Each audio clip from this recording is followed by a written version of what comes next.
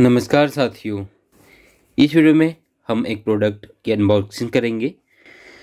तो ये प्रोडक्ट मैंने अमेजन से बुलवाया था, जो कि है एक mini small pump made in China mini food pump इस पर कुछ बेसिक है।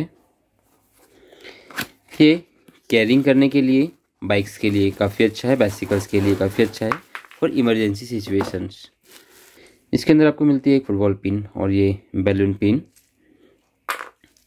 और ये मिलता है हमें एक पंप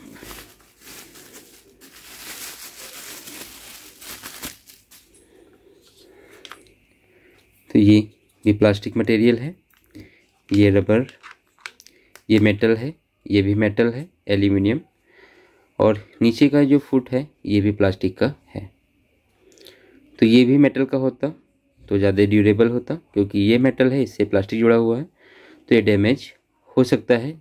और ये डैमेज हुआ तो आपकी हवा नहीं होगी फिर ये वाला प्लास्टिक मटेरियल का है, और इसकी क्वालिटी ठीक है। इस अच्छी क्वालिटी के मार्केट में मिलते हैं, परंतु बड़े साइज़ के आते हैं और इससे सस्ते आते हैं। क्योंकि ऑनलाइन बुलाया है तो ये थोड़ा सा सौ डेढ़ सौ रुपये महँगा है। इसकी प्राइस मुझे पड़ी है थ्री एट्टी और टू फिफ्टी लगभग आपको मार्केट में बड़े पम्प मिल जाते हैं अच्छी क्वालिटी के। परंतु कैरिंग करने के हिसाब से ये मैंने बुलवाया है। आप देख सकते हैं, इसमें बाइसिकल एंड बाइक दोनों के लिए है। अब ये इस प्रकार से पंप होगा। ये बाहर आ जाता है।